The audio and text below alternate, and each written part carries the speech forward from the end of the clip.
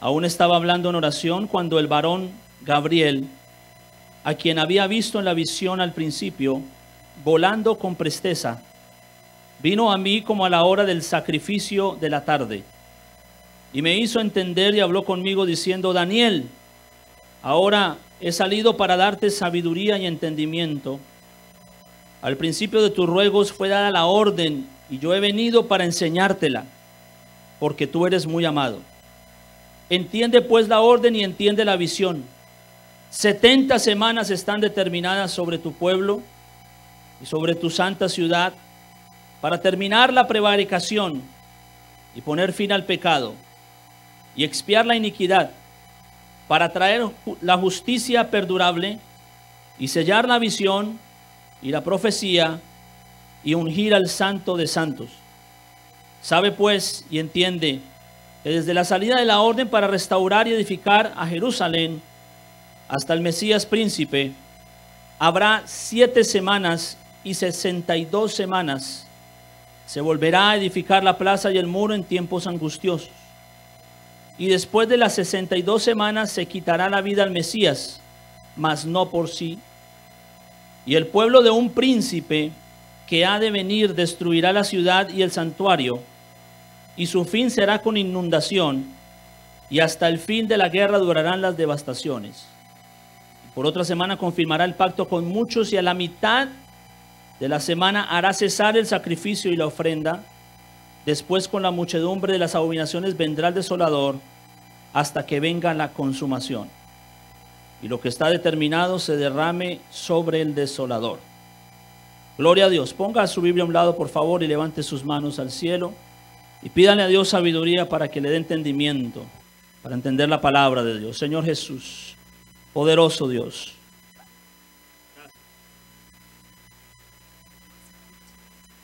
Te hemos glorificado, te hemos alabado y estamos delante de ti.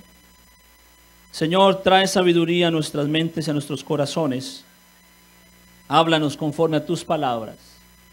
Estamos, Señor Jesús, en tu presencia. Estamos sentados a la mesa porque queremos aprender de ti.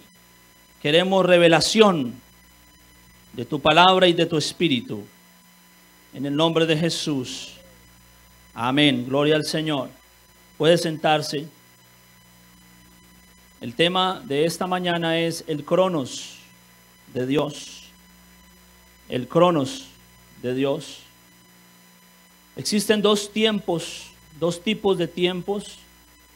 Existe el tiempo cronos y el tiempo kairos. El tiempo cronos es la cronología de los tiempos.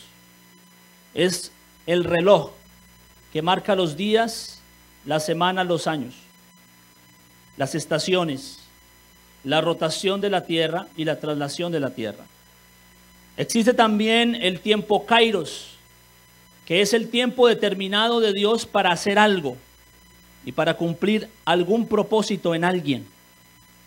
Se predica mucho del tiempo kairos, porque hemos aprendido a través de la Biblia que hay que saber esperar en Dios y hay que saber buscar de Dios. Vemos de que existen muchas enseñanzas que nos hablan del tiempo kairos de Dios. Dios tiene algo para ti, un propósito para tu vida, quiere cumplir algo contigo y tu objetivo es esperar en Él en oración y profundizar en su presencia.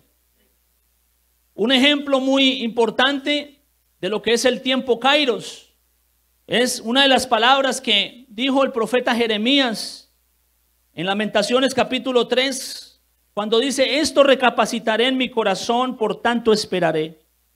Por la misericordia de Jehová no hemos sido consumidos porque nunca decayeron sus misericordias. Nuevas son en cada mañana, tiempo kairos.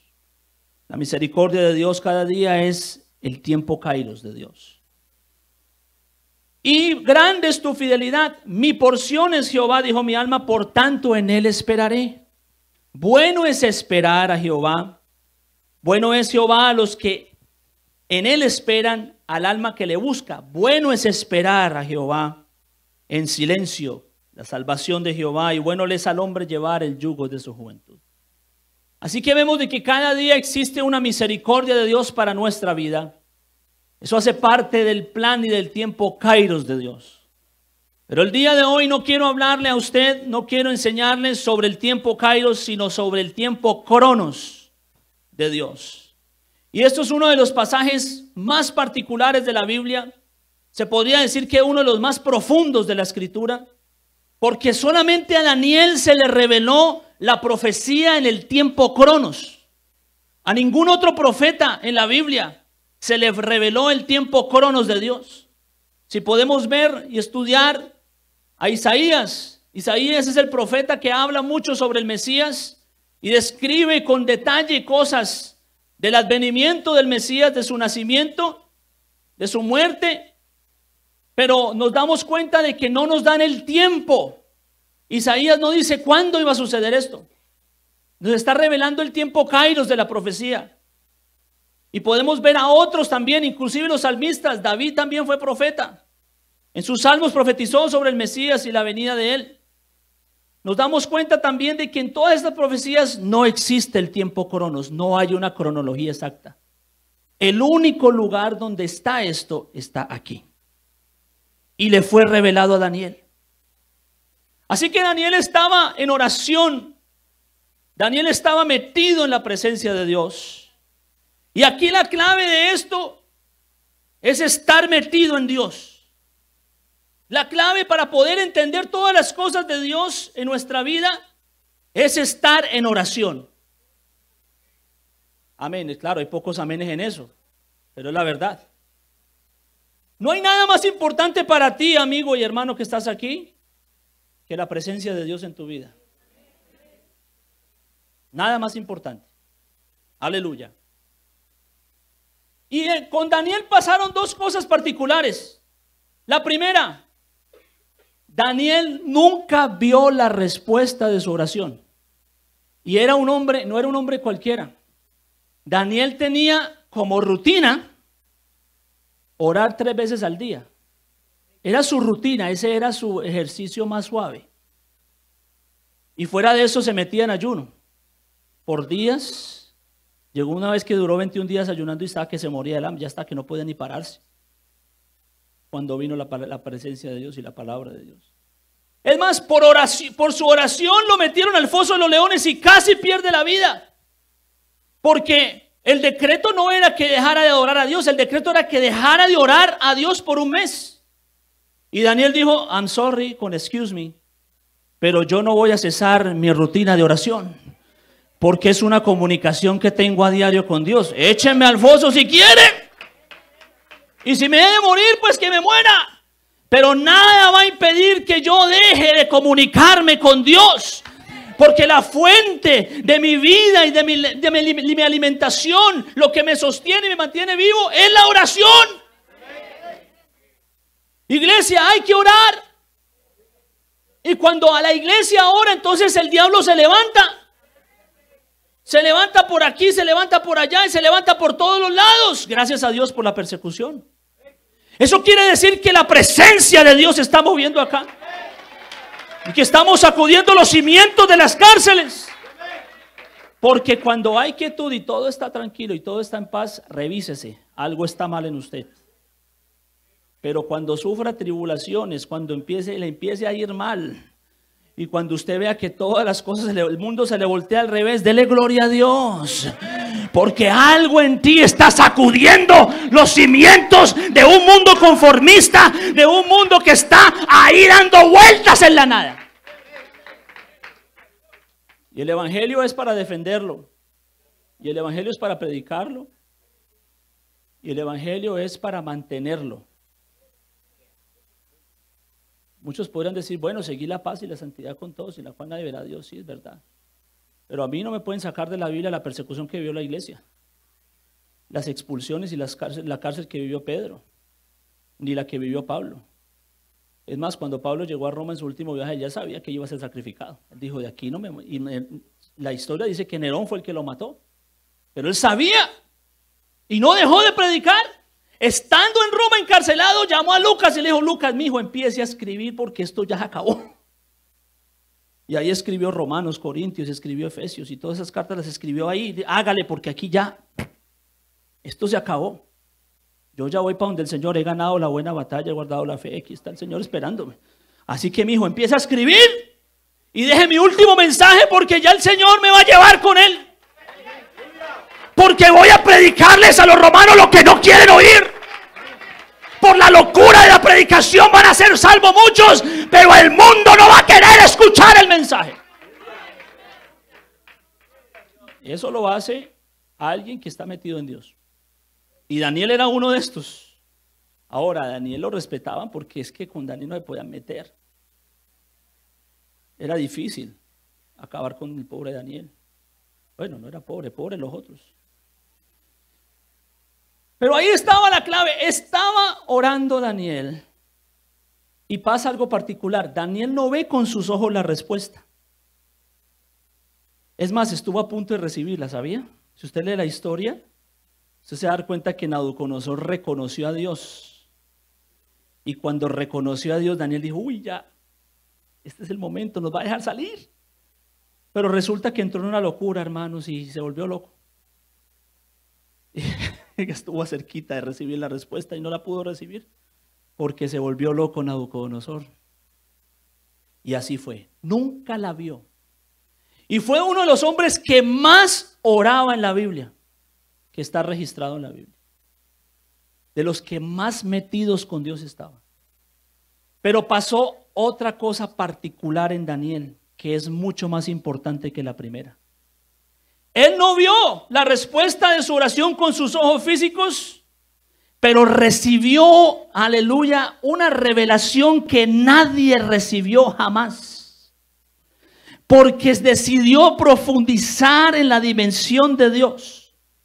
Decidió meterse en la presencia de Dios y entró a algo que se llama la realidad detrás de la realidad. Yo no sé si usted ha visto una película que se llama Matrix. Ah, sí, ¿para qué ve eso? ¿Qué tal? Oiga, a veces uno tiene que usar esas analogías para que lo entiendan. Bueno, el Matrix es una película donde todo lo que pasa en la realidad es mentira. Supuestamente es como si fuera un video o algo que no está sucediendo en la verdad. Y la realidad es otra. La realidad es un mundo oscuro donde todo está destruido, la gente vive como en naves espaciales, en fin. Pero algo similar sucede hoy en día aquí. Y es que nosotros no estamos en el Matrix, porque el Matrix es algo falso, eso es una realidad. Pero existe una realidad detrás de la realidad. Se llama el mundo espiritual. Muchos eruditos han dicho, en esto yo discrepo porque eso es algo muy personal, no lo vayan a tomar literalmente. Pero muchos eruditos dicen, bueno, el primer cielo es la atmósfera, el segundo cielo es el universo, el espacio, y el tercer cielo es el reino de Dios, o donde está Dios, la eternidad. Y, bueno, yo podría decir que, bueno, de pronto sí, pero yo creo más bien que el primer cielo es la realidad terrenal, la vida que nosotros vivimos, la preocupación tan grande que tenemos de hacer dinero y de, de ganar plata y de vivir 60 años para luego morirnos. Esa es, ese es el primer cielo, esa es la primera realidad. En este cielo, el, bueno, Trump es uno de los millonarios este, de, este, primer cielo. Y lo disfrute, que lo disfrute, le vaya bien.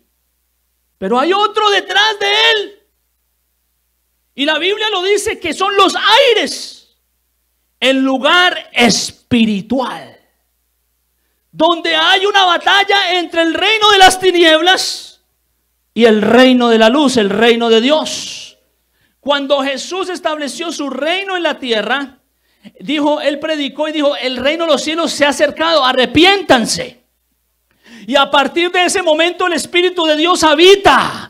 Lo que quiere decir que si el Espíritu de Dios está en medio de nosotros, quiere decir que el reino de Dios está en medio de nosotros. Porque no puede haber reino sin rey. Y no puede haber rey sin reino. Así que si aquí está el rey, pues aquí también está el reino.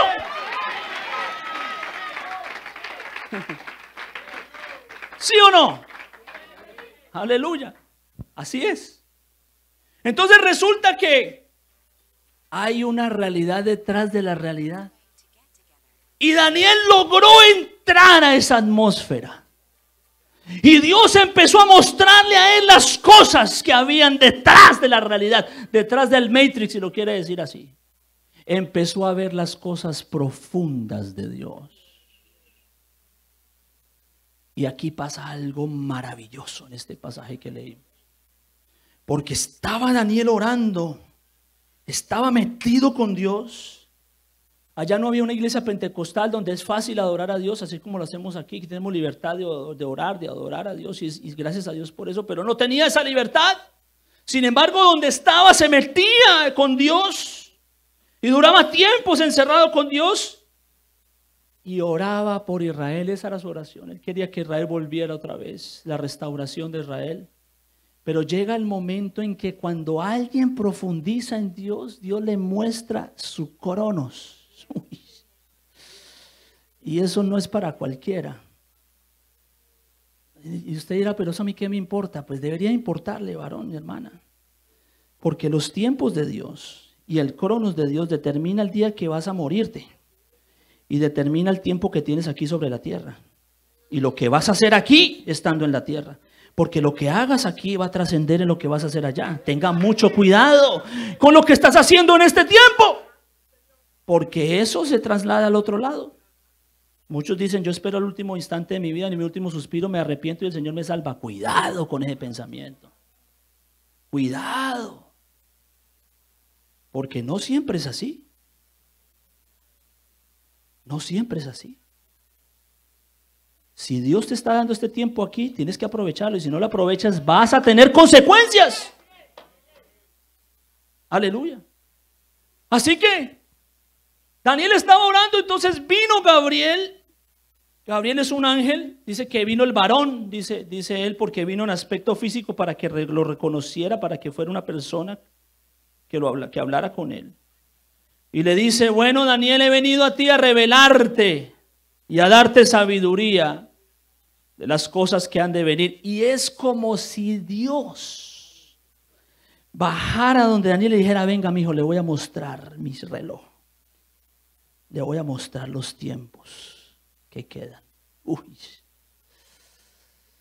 Yo le digo, para llegar allá hay que, hay que, hay que luchar.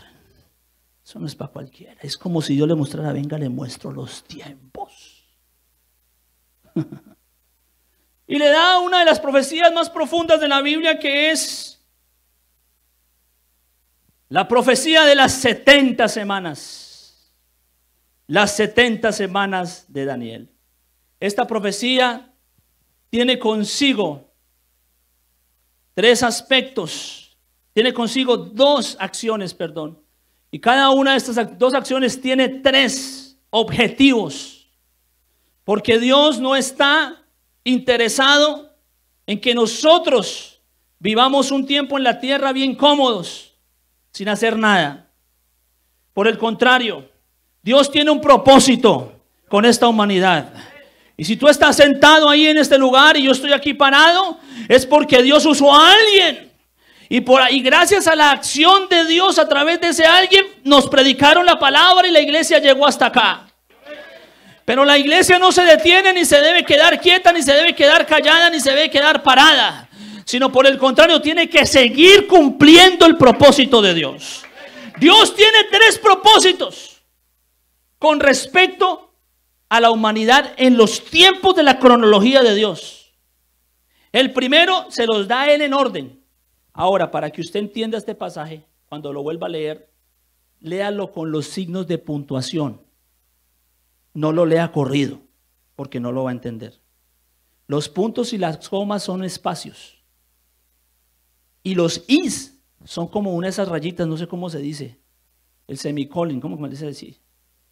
es como una lista, los is, y los puntos y las comas son espacios en, esta, en, esta, en este pasaje que leímos.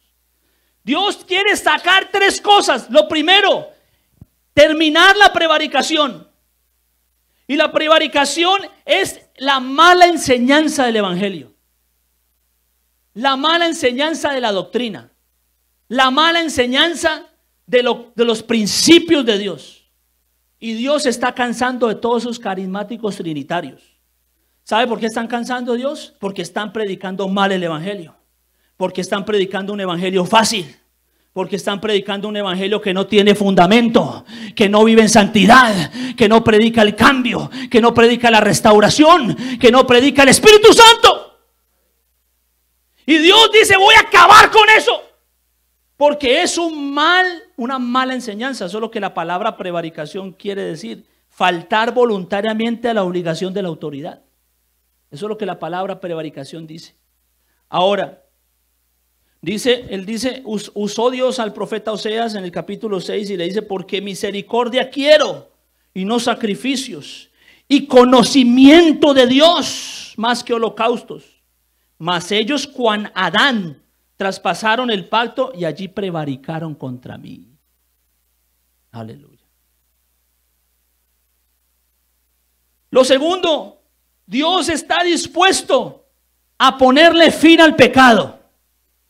Otra de las cosas que Dios está cansado, fuera de la falsa religión y la falsa religiosidad y la falsa predicación de la palabra, también está cansado del pecado. Y quiere, le va a poner fin al pecado y va a acabar con el pecado por siempre, para siempre. Aleluya. Ahora, vea lo que dice el escritor a Hebreos en el capítulo 9. Versículo 24 dice, porque no entró, escuche bien esto, Cristo en el santuario hecho de mano, figura del verdadero, sino en el cielo mismo. O sea, no, no entró en el tabernáculo terrenal, sino que entró en el cielo mismo para presentarse ahora por nosotros ante Dios. Y no para ofrecerse muchas veces como entra el sumo sacerdote en el lugar santísimo cada año con sangre ajena, de otra manera le hubiera sido necesario padecer muchas veces desde el principio del mundo. Pero ahora, en la consumación de los siglos, se presentó una vez para siempre por el sacrificio de sí mismo para quitar de en medio el pecado. Y de la manera que está establecido para los hombres que mueran una sola vez, y después de esto el juicio, así también Cristo fue ofrecido una sola vez para llevar los pecados de muchos y aparecerá por segunda vez sin relación con el pecado para salvar a los que le esperan. Yo no sé si usted entiende la palabra de Dios esta mañana, pero déjeme decirle algo, el objetivo principal de Dios es acabar con el pecado, acabar con su pecado y acabar con mi pecado, y por eso padeció una sola vez, llevando todos nuestros pecados. No para que siguiéramos esclavos del pecado y pecando, como dice Pablo Romanos, perseveraremos en el pecado de ninguna manera. Ahora hemos sido justificados por la gracia y la sangre de Jesús. No para seguir pecando, sino para que sea nosotros reflejada la gloria de Dios, de modo que seamos igual a Él. Aleluya.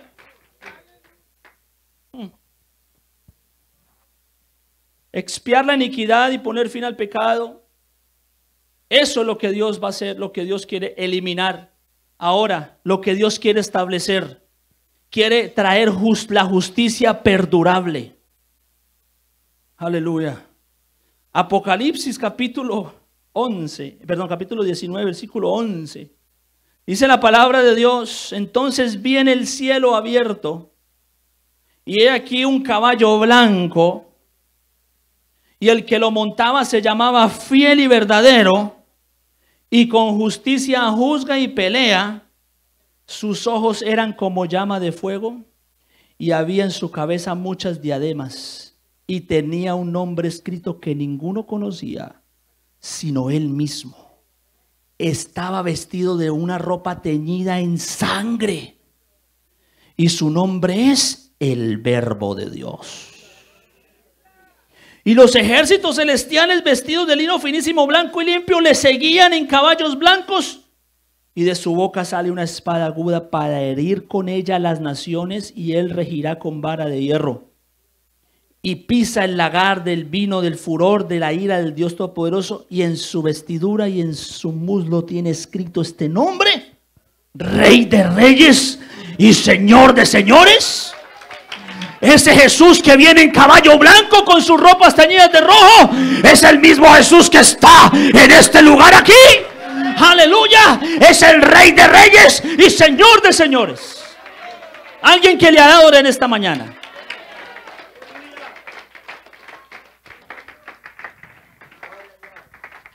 Lo segundo va a sellar la visión. Y es el cumplimiento de las profecías y las visiones. El final de las alegorías. El final de ver las cosas simplemente con los ojos espirituales, sino que ahora, con cuerpo glorificado, pareciéndonos a Dios, va a, vamos a ver las cosas. Es donde la realidad detrás de la realidad se va a convertir en una realidad porque cielo y cielo nuevo y tierra nueva nos va a hacer el Señor. Cuando se acabe todo este matrix, toda esta mentira, toda esa basura, el reggaetón y toda esa basura del diablo. Hermano, yo le quiero decir algo y perdóneme si le ofendo sus gustos, pero déjeme decirle algo. Lo terrenal se queda en lo terrenal y perece. Pero la palabra de Dios, aleluya, permanece para siempre. Y los que temen, aleluya, y son transformados por Él, también permanecen para siempre. Y lo último, tremendo, ungir al santo de santos. Aquí Daniel estaba hablando sobre el lugar, establecer el lugar de adoración a Dios. Porque una de las cosas más tristes que tenían ellos era no poder tener un lugar como este que tenemos el día de hoy, donde podían, donde podían glorificar a Dios y hacer su culto a Dios, santificar el nombre de Jesús. Pero entonces se cumple y es la consagración del lugar santísimo en el templo descrito por Ezequías, Ezequiel, perdón, durante el milenio. ¿Qué va a pasar? Antes de describir los tiempos, Van a ver el, reino milenial de Jesús. Y en el reino milenial de Jesús se va a cumplir la profecía de Ezequiel. Ezequiel desde el capítulo 40 al capítulo 47 nos muestra la visión del templo. Y usted va a decir, bueno, ¿eso de qué me sirve a mí? Pues sí le sirve mucho, mijo. No hay que allá es donde vamos a llegar. No, es que a mí no me interesa eso, a mí me interesa, hermano, predíqueme prosperidad, predíqueme plata. No, ¿Qué es? En el Matrix entonces y espera que le acabe el tiempo. O sea, los gusanos lo van a comer. Pero estamos hablando de algo que trasciende. Por eso es que se predica tanto la palabra de Dios, por eso se predica tanto la santidad, por eso se predica tanto la transformación. Por eso se predica tanto la santidad, se predica tanto el cambio verdadero en el alma. Porque es lo que necesitamos. Aleluya. Entonces, se cumple la profecía de Ezequiel donde Ezequiel veo el templo. El templo de Dios. Y en el templo salía un río. Y en ese río era la sanidad para todas las naciones. Y el que se metía en ese río era sano y era salvo. De pronto no era como en, el estanque de Bethesda, porque el estanque de Bethesda era un agua estancada. Y una vez al año venía un ángel y tocaba el agua y era cuando alguien, el que es primero que entraba, era sano. No estamos hablando de un estanque, hermanos. Estamos hablando del Jesús que vino a decirle a ese paralítico, aleluya, levántate y anda. Jesús es el río de agua viva, aleluya. El que hace una fuente dentro de ti, dentro de mí, para que de nosotros corran ríos de agua viva que salgan para vida eterna, para que vayamos de poder en poder. Lo que quiere decir que el Espíritu de Dios cuando fluye dentro de nosotros es un río de sanidad. Por eso cuando oramos podemos sanar a los enfermos.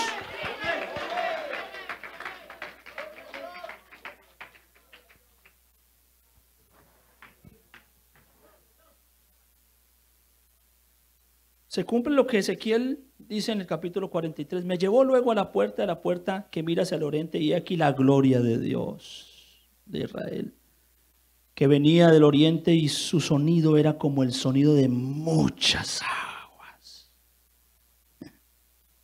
Y la tierra resplandecía a causa de su gloria.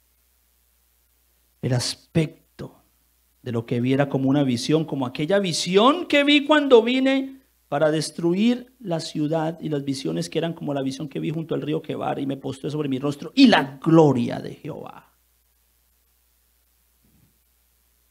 Esta es la clave. Entró en la casa por la vía de la puerta que daba hacia el oriente y me alzó el espíritu. Aleluya. Cuando tú entras a este lugar, la gloria de Dios viene. Uy, qué pocos aménes, qué tristeza. Pero bueno, no es para todos. Porque aquel que se mete con Dios, entonces el Espíritu lo levanta para que vea más allá. Para que vea los problemas pequeños, para que los vea desde arriba y no los vea desde abajo. Para que vea su pecado desde arriba y no se deje enseñorear por él. Y para que Dios ponga a Satanás debajo de sus pies. Me alzó el espíritu y la gloria de Jehová llenó la casa. Lo que importa aquí en este lugar es que la gloria de Dios nos llene. Lo que interesa en este lugar y lo que vamos a predicar, lo que vamos a hablar en este lugar es que la gloria de Dios venga y nos levante. Ese es el mensaje. Si estás buscando otro mensaje, estás en el lugar equivocado. Pero aquí vamos a hacer como Daniel, vamos a hacer como Ezequiel. Uy, Señor, levántame en tu espíritu.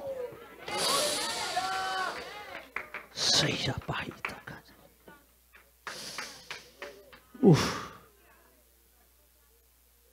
Aleluya.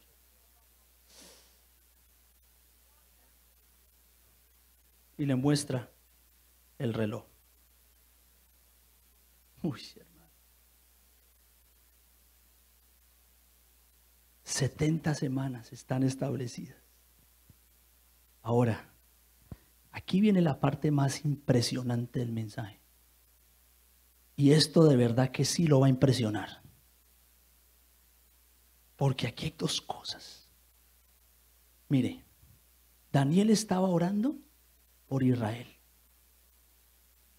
Pero en, ese, en esa profecía, en esos párrafos que leímos, hay un tesoro escondido. Y mire cómo se lo proyecta Dios a Daniel. Porque viene Daniel a donde la presencia de Dios rogando por Israel. Y entonces le dice el Señor, son 70 semanas y las 70 semanas no son semanas de días, sino semanas de años. Años de 365 días. Estamos hablando de un tiempo exacto. Y le dice, son siete semanas, son tres tiempos. El primero son siete semanas, lo que quiere decir 49 años. 7 por 7, 49. Algunos van a buscar el teléfono para hacer la calculadora. No. Por eso le digo, los aparatos se vuelven más inteligentes. Y esto comenzó el primero de marzo, el 5 de marzo del año 444 antes de Cristo. Porque le dice el Señor, le dice Gabriel, bueno, Gabriel era el mensajero, le dice a Daniel, que cuando se establezca el decreto para construir el muro de Jerusalén, eso vino a pasar años después de Daniel, con el rey Artajerjes, que fue el que, hubieron tres decretos, el primero fue el de Ciro.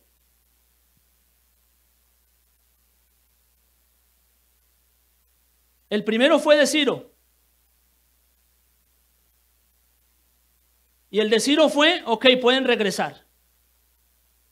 Y el segundo fue de Artajerjes. El segundo Artajerjes que dijeron pueden empezar a construir el muro. Pero él da dos decretos, cuando salen y cuando empiezan a construir. A partir del tiempo en que empiezan a construir el muro, pasan 49 años, las primeras siete semanas. Y luego le dice, pasarán 62 semanas después de esto y esta semana va a terminar en el año 10 de Nisan, o sea, el 30 de marzo del año 33 después de Cristo. Y le dice el Señor a, a Daniel, le revela y habla sobre el Mesías príncipe. Daniel fue el único que sabía la fecha exacta en que iban a ser el Mesías.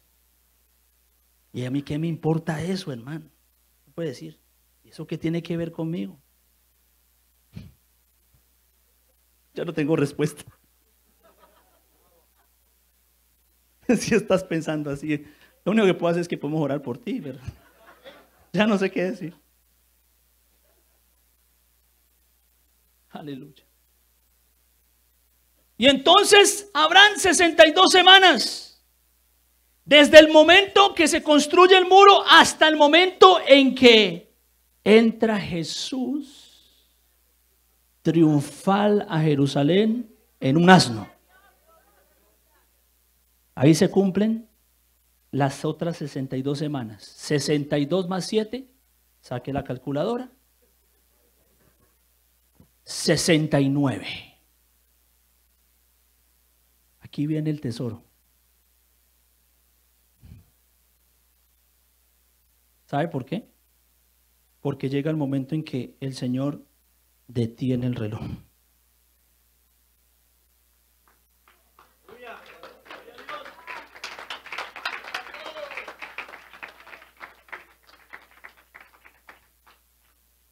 Detuvo el reloj. Oiga, ¿y por qué detuvo el reloj? ¿Acaso el Mesías no era para la salvación de Israel? Ay, que ver el misterio. ¿Acaso no era para Israel? ¿El Mesías no es el Mesías que va a salvar a Israel? ¿No era la promesa para los judíos? ¿Sí o no? Sí. Entonces, ¿por qué tienes el reloj, Señor? Porque es que por allá otro profeta dijo, a los suyos vino.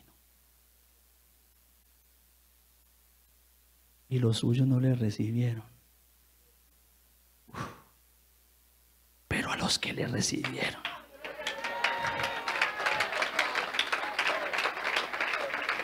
Les dio potestad de ser hechos hijos de Dios.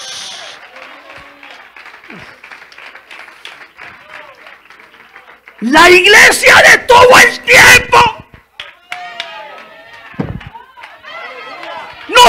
Nosotros estamos deteniendo el tiempo de Dios. La iglesia detiene el tiempo de Dios.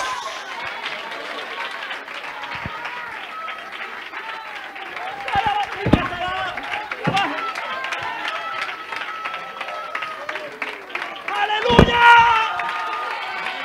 Por amor a estos, por amor a ellos, por amor a estos, por amor a ellos, detuvo el tiempo y estableció a ti a mí aquí.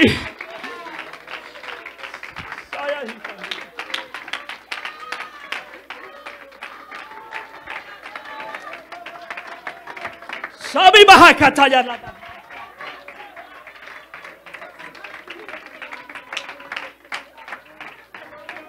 Si ven que sí tiene que ver con nosotros, si ven que sí tiene que ver contigo y conmigo, hermano y hermana, todo tiene sentido y todo tiene que ver contigo y conmigo, porque cuando Dios estaba hablando con Daniel, estaba pensando en ti, estaba pensando en mí y nos estaba incluyendo en la lista.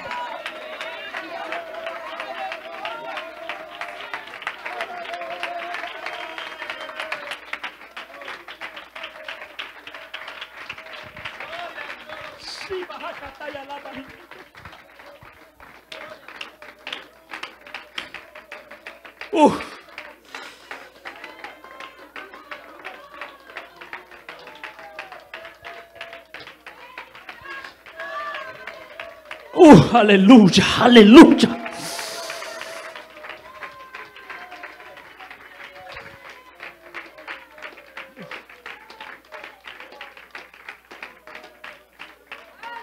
Aquí hay algo importante. Aquí hay algo importante. Eso, adore a Dios, hermano, usted vale, usted vale, vale, vale, vale, vale. Usted no es, usted no es cualquiera. Usted tiene valor especial para mí. Pero aquí hay dos cosas importantes.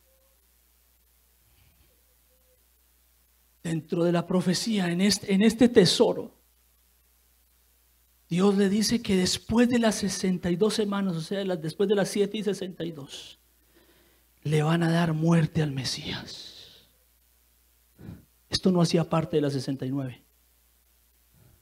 Y luego, el pueblo de un príncipe va a destruir el templo de Jerusalén. Hermano, eso que tiene, no entendemos ahora sí, ¿cómo que tiene que ver esto con lo que estamos hablando? Ese templo de Jerusalén no era un templo aprobado por Dios, porque ese templo lo construyó Herodes y lo construyó para congraciarse con los judíos por politiquero. Así como hoy en día hay muchos templos alrededor del mundo que dicen predicar la verdad y están ahí es por hacer política y hacer plata. No hay esencia ni espíritu. Y Dios dice que eso se acaba. Eso lo destruyo. Eso lo acabo. Y lo destruyeron. Vino, vino un, emperador romano y lo destruyó en el año 70 después de Cristo. Quedó un muro. Y en ese muro los judíos van todos los años y se, se, ponen a lamentarse en ese muro y a llorar y a quejarse por un pedazo de piedra que ni siquiera probó Dios. Pero Dios permite la destrucción de ese para levantar otro.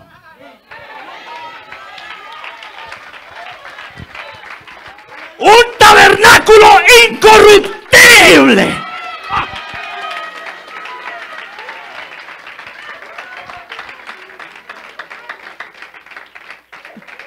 Oiga esto. Aquí os digo un misterio, dice el apóstol Pablo. No todos dormiremos, pero todos seremos transformados. En un momento, en un abrir y cerrar de ojos, a la final trompeta, porque se tocará la trompeta y los muertos serán resucitados incorruptibles y nosotros seremos transformados porque es necesario que esto corruptible se vista de incorrupción y esto mortal se vista de inmortalidad. Y cuando esto corruptible se haya vestido de incorrupción y esto mortal se haya vestido de inmortalidad, entonces se cumplirá la palabra escrita, sorbida es la muerte en victoria.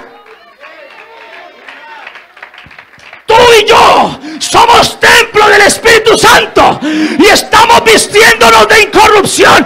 Es el nuevo templo de Dios, es la nueva habitación de Dios, es la nueva gloria de Dios para nosotros. Es lo que detiene el reloj para que Dios habite en medio de este mundo. Tú, hermana, y tú, hermano, y yo también. Porque cada día que oramos, cada día que profundizamos en la presencia de Dios, estamos quitándonos la incorrupción de encima. Estamos quitándonos la inmortalidad de encima. Y estamos siendo transformados. Alguien que le adore.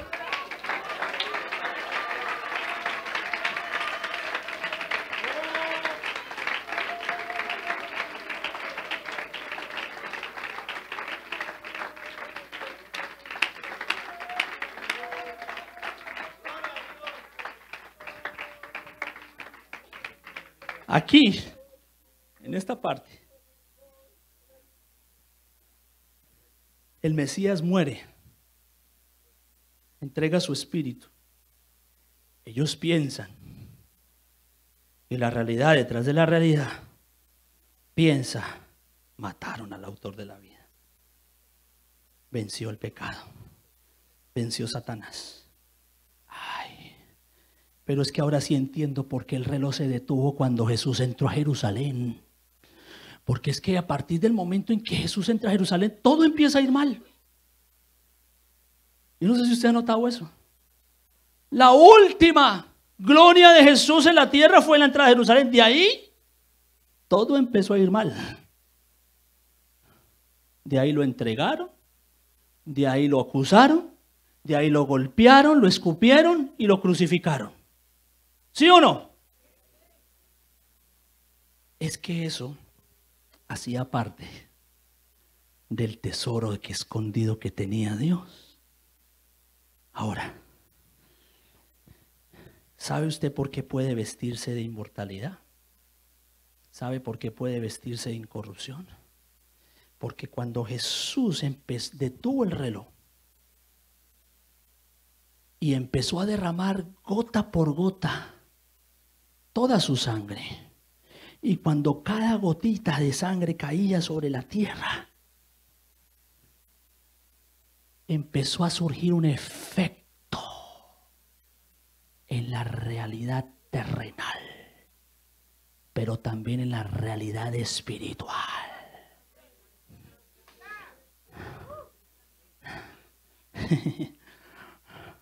Vea lo que dice Mateo, narrando lo que sucedió. No es revelación, es narrando lo que sucedió. Porque cuando Jesús entregó el Espíritu, dice, dice, más Jesús en el 50, 27, 50, más Jesús habiendo otra vez clamado a gran voz, entregó el Espíritu. Espíritu con E minúscula. Entregó su Espíritu.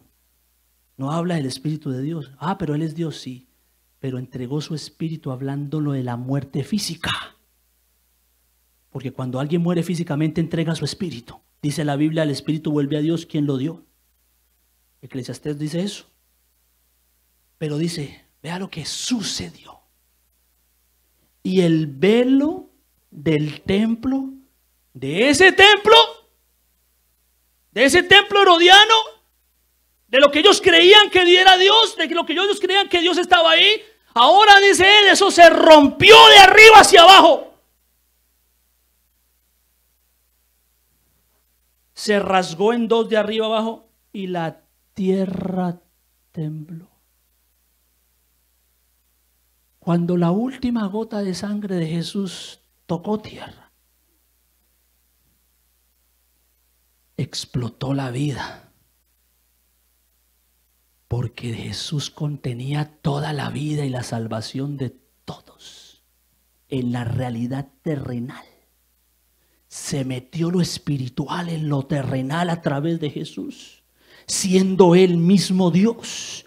Y cuando derramó toda su sangre, entonces se derramó la vida. Y cuando la tierra sintió que era la sangre de Jesús, dijo, Oh, esto es, esto es Dios. Por eso dice el salmista que la presencia de Jehová tiembla la tierra. Así que la tierra cuando sintió la presencia de Dios en la sangre de Jesús comenzó a temblar.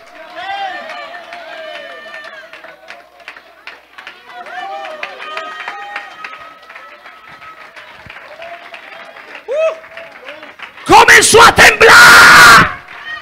Este lugar tiembla cada vez que adoramos. Porque la presencia de Dios desciende aquí.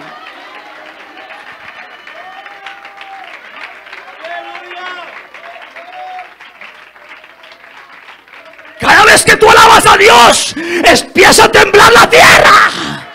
Porque la gloria de Dios en ti que se refleja. Cada vez que gritas gloria a Dios, es la gloria de Dios, la presencia de Dios y hace temblar la tierra. Cada vez que danzas en su presencia, estás haciendo temblar la tierra con la presencia de Dios.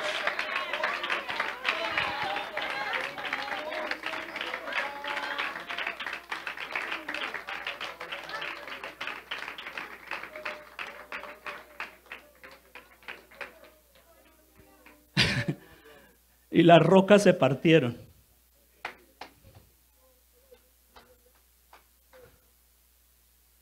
¿Cuántos, cuántas piedras no habían aquí?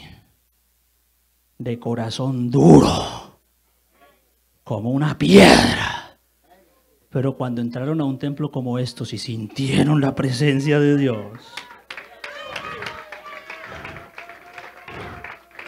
ese corazón apático, ese corazón incrédulo, ese corazón que no quería saber nada de Dios, que no creía en Dios, se parte. Porque la presencia de Dios, los corazones duros se parten.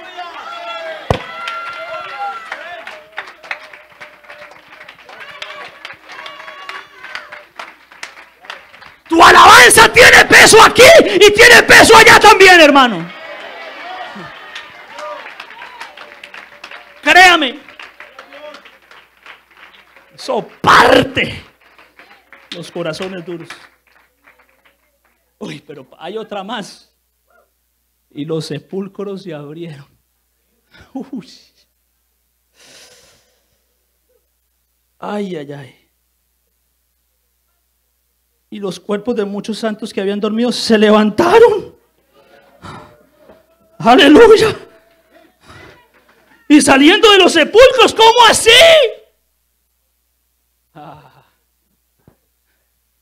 Él dijo, yo soy la resurrección y la vida. El que cree en mí, dijo Jesús, aunque esté muerto, vivirá. Aleluya. ¿Habrá algo imposible para Dios en Manhattan? No.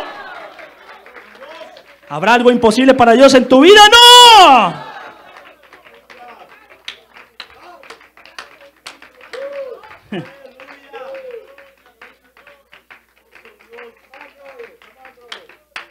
Ahora vamos a concluir con esto.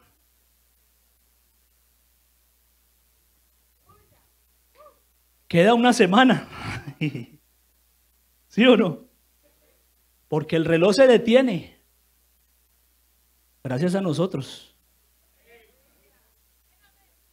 Pero llegará el día en que ese novio desesperado por su novia no se aguante más.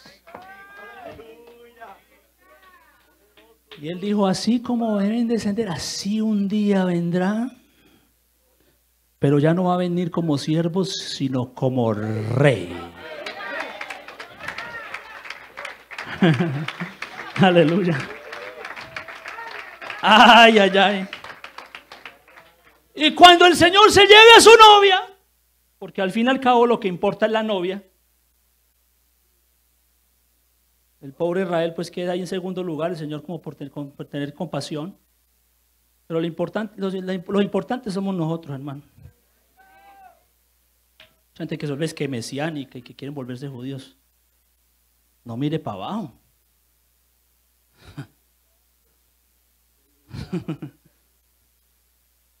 Mira hacia arriba. Entonces ahí te va a contestar Daniel, queda una semana. Y cuando vuelva Jesús por su iglesia y tú y yo estemos allá en las bodas del Cordero, aquí se va a armar un revolú en la cosa más impresionante. Porque resulta que ese príncipe ¿Se acuerda el pueblo del príncipe que vino y destruyó el pueblo del príncipe, no el príncipe, el pueblo del príncipe? Entonces el príncipe va a volver, va a aparecer. Y le va a decir a los judíos, entonces qué muchachos, yo soy el Mesías. Y los judíos, como son de brutos, se van a comer el cuento. Porque eso va a haber una guerra por allá, de pronto entre musulmanes y ellos, y bueno, quién sabe. Y el hombre va a traer paz. Entonces el Señor le dice, vea, ahí voy a volver a poner el reloj otra vez mío. Y le queda una semanita, siete años. Y en esos siete años vendrá el engañador y hará pacto con ellos. Y van a decir, el Mesías está aquí. Pero a la mitad de la semana, a los tres años y medio, se va a quitar la máscara los cachos, el anticristo. Y les va a meter una persecución tan terrible a los pobres judíos que va a ser peor que el holocausto que ocurrió en los años de la Segunda Guerra Mundial. Qué triste, ¿no? Pero cuando se acabe la semana, nosotros en tremenda parranda allá en el cielo,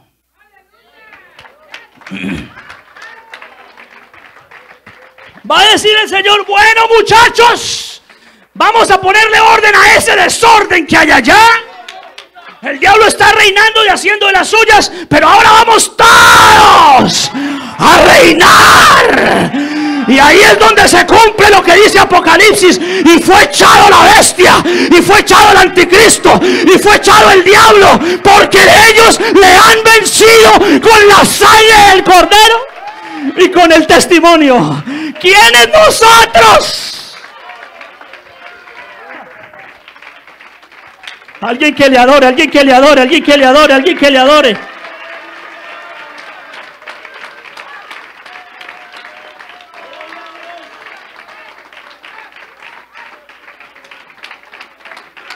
Aleluya. Uh.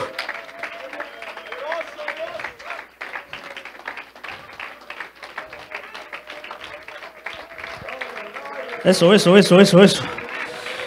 Es que estamos, en, estamos con el rey y este es nuestro reino.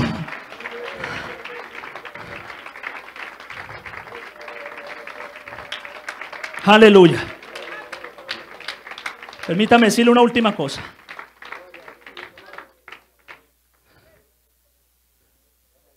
Resulta que entre todo este, este, este, este, este tiempo y todos estos tiempos, Dios permite de que existan reinos terrenales. Y entonces allá le dio la visión a, Nabucodonosor, el sueño, perdón, el sueño. Y bueno, Daniel se lo interpretó, ¿no? Y sabemos que eran cuatro reinos. Babilonia, los medos persas, Grecia y Roma. Y bueno, sabemos que esos son los, los, los, los imperios. Y sabemos, si estudiamos la historia, nos damos cuenta. Pero, aquí hay un pero. Aquí es donde me quiero detener para que usted entienda algo. Detrás de ellos Resulta que estos son títeres de la realidad detrás de la realidad. ¿Cómo así? Pues sí. Imagínese usted que alguien que pudo entrar a la realidad detrás de la realidad, se llamaba Daniel, resulta que Daniel vio en esa realidad detrás de la realidad vio cómo se manejaban las cosas. Y una vez estaba orando, como él solía orar, pero estaba en ayuno. Y resulta que vino el Señor, estaba hasta que ya las fuerzas se le acabaron, pero vino el Señor y otra vez vino Gabriel. Eso fue después de eso. Cualquiera hubiera dicho, bueno, Señor, ya tienes el tiempo, ya bueno, ya para qué sigo orando por Israel, ya. Ya sé que lo vas a rescatar en 490 años. Sí, está bien, no hay problema. No, Daniel siguió orando, siguió metido en el Señor. Pero resulta que cuando Daniel estaba orando, imagínese usted, se le acabaron las fuerzas, ya no tenía fuerzas para orar, y vino Gabriel otra vez. Y Gabriel le da ánimos y le dice, hijo, no pares de orar, porque es que resulta que a causa de tu oración se ha levantado una batalla en el cielo. Y entonces el príncipe de Persia me hizo oposición. Entonces por allá tocó mandar a Miguel para que peleara con él, el arcángel Miguel, y están peleando allá, están que se dan ellos allá. A causa de tu oración. Y entonces le da fuerzas a Daniel y Daniel se vuelve a reconfortar. ¿Y, cómo así? ¿Cómo así? ¿Cómo así que el príncipe de Persia, el príncipe de Persia no es acaso este Ciro? Ah, no, no, no, es que estamos hablando de la realidad detrás de la realidad. Resulta que hay un príncipe espiritual que los maneja a ellos. Y él le dijo, no puedes dejar de orar porque después del príncipe de Persia viene el príncipe de Grecia detrás. Y después del príncipe de Grecia viene el príncipe de Roma. Y así ha pasado desde la consumación de los tiempos hasta el día de hoy. Ha sucedido esa situación. Cada vez que se levanta un reino, hay un príncipe en la realidad, detrás de la realidad, gobernándole. Y uno se llama drogadicción. Y ahí hay un príncipe. Ahí hay un príncipe. El alcoholismo, hay otro príncipe. El homosexualismo, hay otro príncipe. Y lo que usted quiera llamar, hay otro príncipe detrás de eso. Pero si alguien se mete y- y se atreve, así le faltan las fuerzas para orar. Pero se mete en Dios, entonces viene el Señor y le dice, no pares de orar, porque tu oración está causando que esos príncipes se detengan. Y estás causando una guerra en el cielo que hace parar que la drogadicción venga. ¿Por qué se fueron estos de allá? Se fueron porque hay una iglesia orando y estábamos deteniendo al príncipe de la drogadicción. ¿Quiénes? Pues los que están orando, los que están metidos.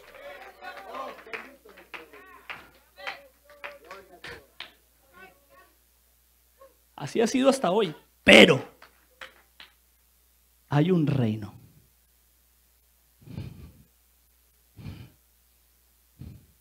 que se llama el reino de los cielos. Y en este reino de los cielos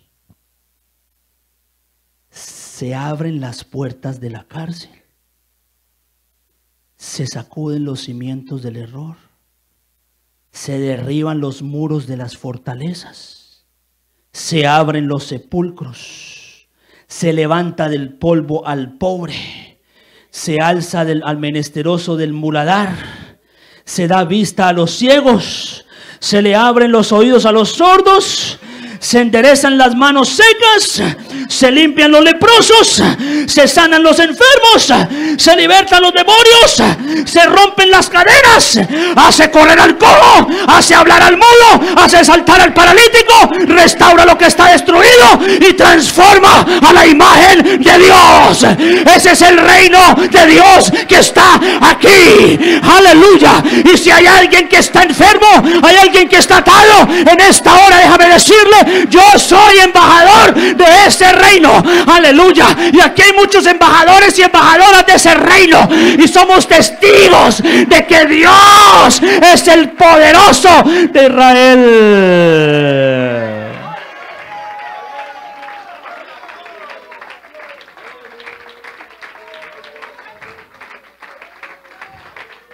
Si alguien necesita ser sano, estás en el lugar correcto. Póngase de pie, por favor, los que están sentados. Aleluya. Venga aquí a este altar y no se vaya a arrodillar.